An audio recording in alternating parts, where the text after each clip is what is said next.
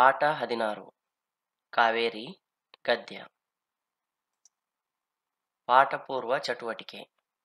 ಈ ಚಿತ್ರದಲ್ಲಿರುವ ಆನೆಕಟ್ಟೆಯ ಬಗ್ಗೆ ಮಾಹಿತಿಯನ್ನು ನಿಮ್ಮ ಶಿಕ್ಷಕರಿಂದ ಕೇಳಿ ತಿಳಿಯಿರಿ. ಇದು ಕೃಷ್ಣರಾಜಸಾಗರ ಅಣೆಕಟ್ಟು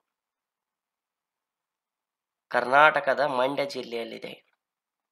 ಈ ಅಣೆಕಟ್ಟನ್ನು ಕಾವೇರಿ ನದಿಗೆ ಕಟ್ಟಲಾಗಿದೆ.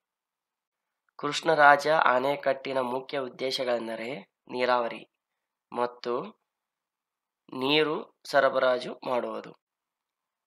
ಈ ಅಣೆಕಟ್ಟು ಎಂಟು ಸಾವಿರದ ಆರುನೂರ ಅಡಿ ಉದ್ದವಿದ್ದು ಒಂದು ನೂರ ಮೂವತ್ತು ಅಡಿ ಎತ್ತರವಿದೆ ಮತ್ತು ಸ್ವಯಂಚಾಲಿತ ಸ್ಲ್ಯೂಸ್ ಗೇಟುಗಳನ್ನು ಉಪಯೋಗಿಸಿದ್ದ ಪ್ರಪಂಚದ ಮೊದಲ ಅಣೆಕಟ್ಟುಗಳಲ್ಲಿ ಇದು ಒಂದು. ಬನ್ನಿ ಈಗ ಪಾಠವನ್ನು ಓದೋಣ. ಕನ್ನಡ ನಾಡಿನ ಜೀವನದಿ ಕಾವೇರಿ, ಕರ್ನಾಟಕದ ದಕ್ಷಿಣ ಭಾಗದಲ್ಲಿ ಹರಿಯುವ ಮುಖ್ಯ ನದಿ.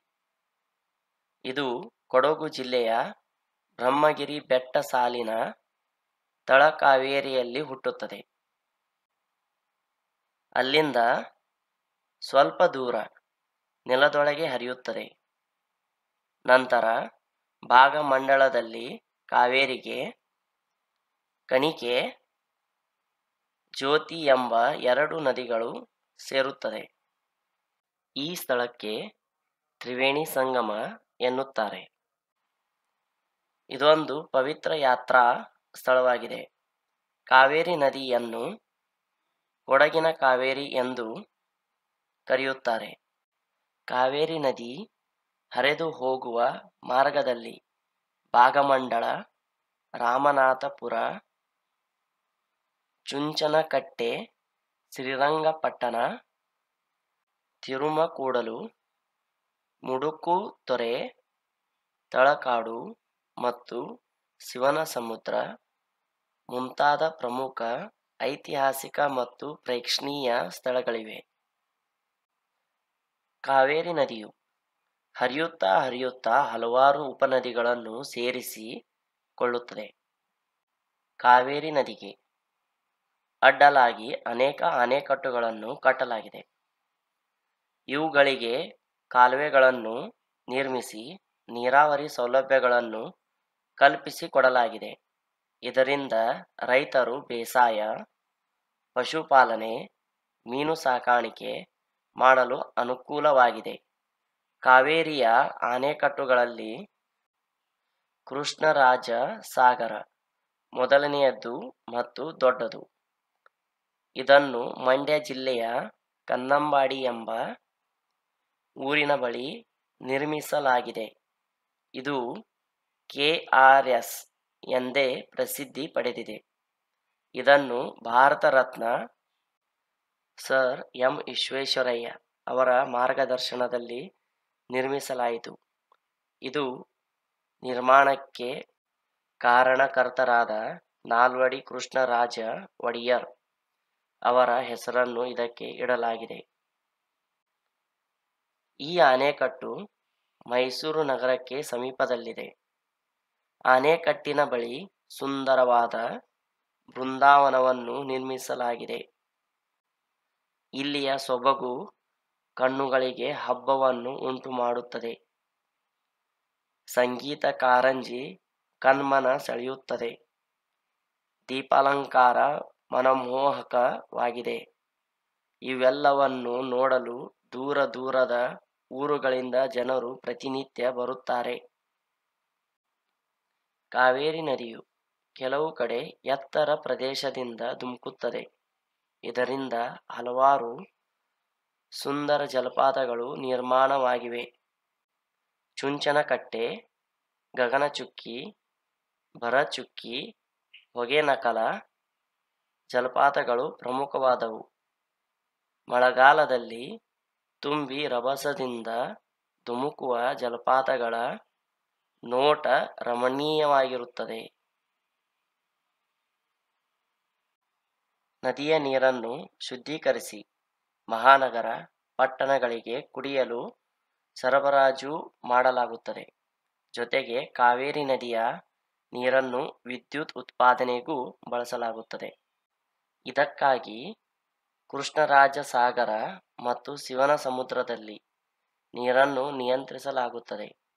ಇಲ್ಲಿಂದ ಶಿವನ ಸಮುದ್ರದಲ್ಲಿರುವ ವಿದ್ಯುತ್ ಉತ್ಪಾದನಾ ಕೇಂದ್ರಕ್ಕೆ ವರ್ಷ ಪೂರ್ತಿ ನೀರನ್ನು ಒದಗಿಸಲಾಗುತ್ತದೆ. ಶಿವನ ಸಮುದ್ರವು ಏಷ್ಯಾ ಖಂಡದಲ್ಲೇ ಪ್ರಥಮ ವಿದ್ಯುತ್ ಉತ್ಪಾದನಾ ಕೇಂದ್ರ ಎಂಬ ಕೀರ್ತಿಗೆ ಪಾತ್ರವಾಗಿದೆ.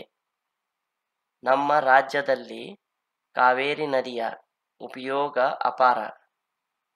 ಅಲ್ಲದೆ ನೆರೆಯ ರಾಜ್ಯವಾದ ತಮಿಳುನಾಡಿನಲ್ಲಿ ಹರಿದು ಅಲ್ಲಿಯ ಜನರಿಗೂ ಉಪಕಾರ ಮಾಡುತ್ತದೆ. ಕಾವೇರಿ ನದಿ ಕರ್ನಾಟಕದಲ್ಲಿ ಹುಟ್ಟಿ ತಮಿಳುನಾಡಿನಲ್ಲಿ ಹರಿದು ಕೊನೆಗೆ ಬಂಗಾಳಕೊಲ್ಲಿಯಲ್ಲಿ ಸೇರುತ್ತದೆ. ಕಾವೇರಿ ನದಿಯು ದೇಶದ ಸಂಪತ್ತಿನ ಅಭಿವೃದ್ಧಿಗೆ ನಿರಂತರವಾಗಿ ತನ್ನ ಕೊಡುಗೆ ನೀಡುತ್ತಾ ಬಂದಿದೆ. ನದಿಗಳು ಕೇವಲ ನೀರನ್ನು ಒಯ್ಯುವ ವಾಹಿನಿಗಳಲ್ಲ, ಅವುಗಳು ಜೀವ ಪರಿಸರದ ಒಡನಾಡಿಗಳು. ಬನ್ನಿ ಈಗ ಅಭ್ಯಾಸದ ಕಡೆ ಹೋಗೋಣ. ಓದಿದ ಪದಗಳು. ಇವುಗಳನ್ನು ಸ್ಪಷ್ಟವಾಗಿ ಉಚ್ಚರಿಸಿ. ಕನ್ನಡ ನಾಡು. ಜೀವನದಿ ಕರ್ನಾಟಕ. ಸೌಲಭ್ಯ. ಕೃಷ್ಣರಾಜ ಸಾಗರ ಹೊಗೆನಕಲ. ಬೃಂದಾವನ. ಸಂಗೀತ. ಆನೆಕಟ್ಟು ಕಾಲುವೆ ನೀರಾವರಿ ಚುಂಚನಕಟ್ಟೆ ಬರಚುಕ್ಕಿ ನಿಯಂತ್ರಿಸು ಶುದ್ಧೀಕರಿಸಿ ಕಾರಂಜಿ ವಿದ್ಯುತ್ ದೀಪಾಲಂಕಾರ ಜಲಪಾತ ಅಭಿವೃದ್ಧಿ ಉತ್ಪಾದನೆ. ಮೈಸೂರು ಶಿವನ ಸಮುದ್ರ ಯಾತ್ರಾಸ್ಥಳ ತಮಿಳುನಾಡು ಬಂಗಾಳಕೊಲ್ಲಿ ಕೊಡಗು ತಳಕಾವೇರಿ ಕನ್ನಂಬಾಡಿ ರಮಣೀಯ ಸಂಗಮ. ಓದಿ ತಿಳಿಯಿರಿ. ಜೀವನದಿ ಎಂದು ಭತ್ತದ ನದಿ.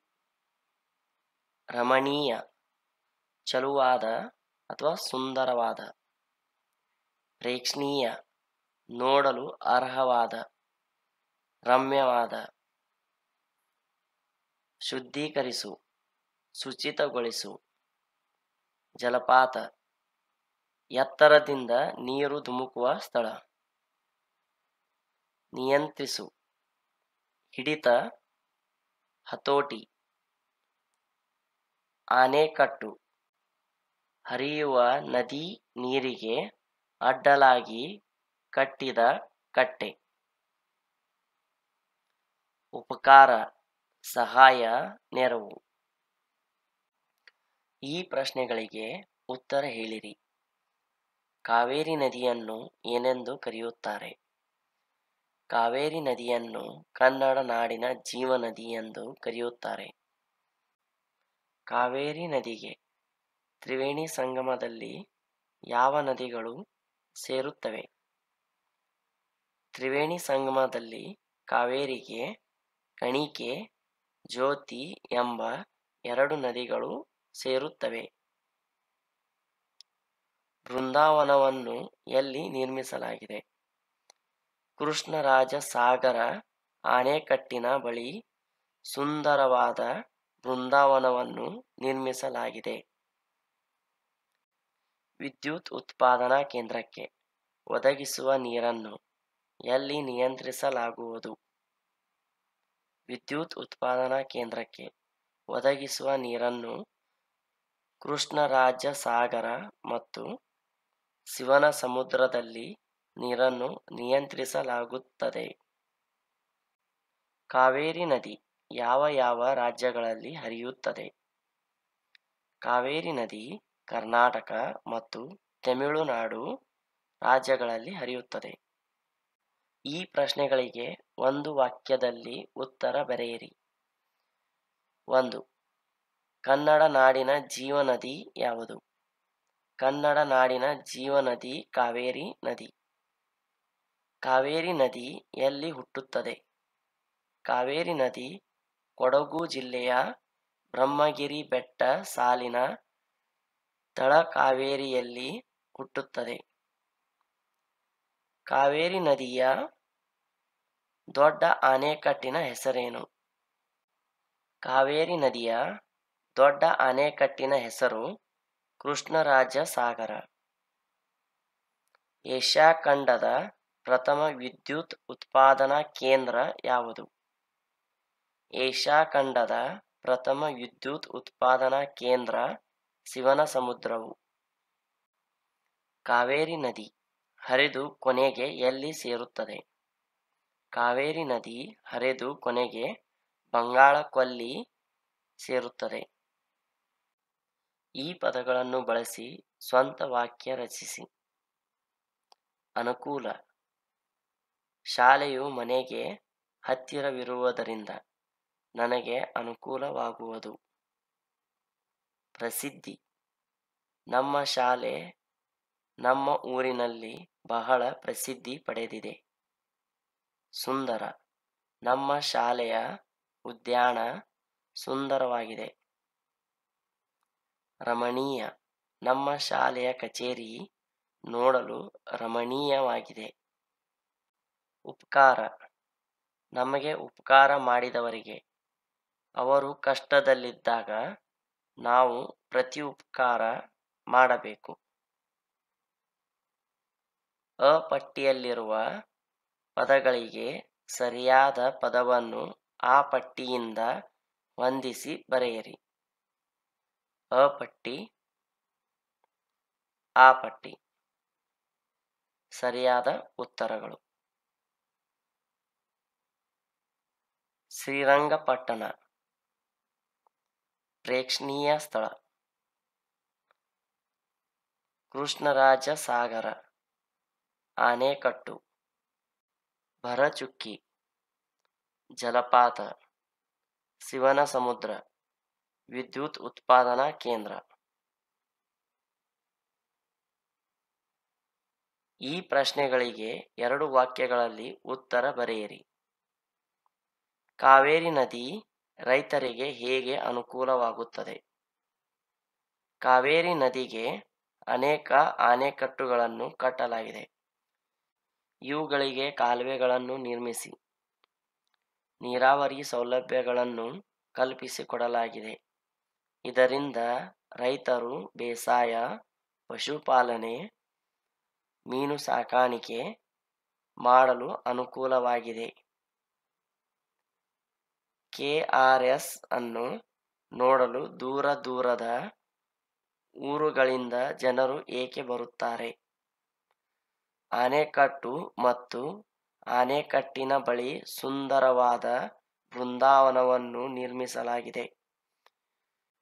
ಇಲ್ಲಿಯ ಸೊಬಗು ಕಣ್ಣುಗಳಿಗೆ ಹಬ್ಬವನ್ನು ಉಂಟು ಮಾಡುತ್ತದೆ ಸಂಗೀತ ಕಾರಂಜಿ ಕಣ್ಮನ ಸೆಳೆಯುತ್ತದೆ. ದೀಪಾಲಂಕಾರ ಮನಮೋಹಕವಾಗಿದೆ. ಇವೆಲ್ಲವನ್ನು ನೋಡಲು ದೂರ ದೂರದ ಊರುಗಳಿಂದ ಜನರು ಪ್ರತಿನಿತ್ಯ ಬರುತ್ತಾರೆ. ಕಾವೇರಿ ನದಿಯ ಪ್ರಮುಖ ಜಲಪಾತಗಳು ಯಾವುವು? ಕಾವೇರಿ ನದಿಯ ಪ್ರಮುಖ ಜಲಪಾತಗಳು ಚುಂಚನಕಟ್ಟೆ, ಗಗನಚುಕ್ಕಿ, ಭರಚುಕ್ಕಿ, ಹೊಗೆನಕಲ ಜಲಪಾತಗಳು ಪ್ರಮುಖವಾದವು. ಸಾಮರ್ಥ್ಯ. ಈ ಗದ್ಯದ ಕಲಿಕೆಯ ಜೊತೆಗೆ ಸುಮಾರು ಎರಡು ಸಾವಿರ ಪದಗಳನ್ನು ಓದಿ ಗ್ರಹಿಸುವ ಸಾಮರ್ಥ್ಯ ಪಡೆಯುವಿರಿ.